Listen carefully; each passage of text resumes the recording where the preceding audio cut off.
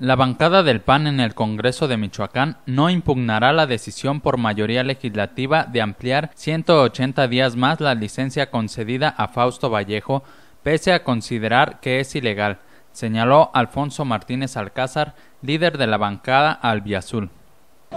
De ninguna manera, nosotros lo que queremos es darle certeza a Michoacán y el presidente de la Junta de Coordinación Política del Congreso especificó que pedir la revisión de la ampliación de licencia no sería benéfico para el Estado.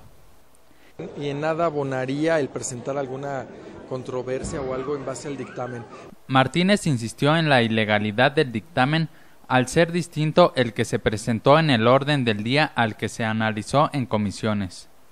Pero sí lo queríamos señalar porque es muy irresponsable el que el PRD haya cambiado eh, de opinión y por ello quiera involucrar al PRI en una situación muy comprometedora. Como Dijo que su postura era conceder una licencia por un periodo de 12 meses para garantizar la recuperación de Fausto Vallejo y fortalecer la capacidad de decidir del interino. Nosotros creíamos que una licencia eh, por un tiempo mayor eh, podría darle las condiciones al gobernador interino para...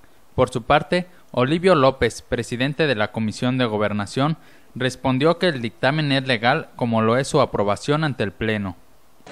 Dictamen que hoy se somete a votación del Pleno está completamente apegado a la Constitución, a la ley orgánica y no existe ningún, ningún resquicio de ilegalidad rechazó que hubiese motivos para que diputados de oposición impugnaran al resolutivo.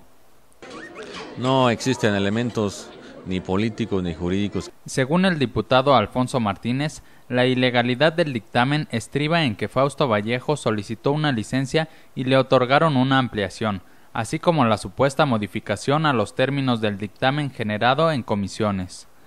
Con información de Fátima Paz Informa, Cuasar TV.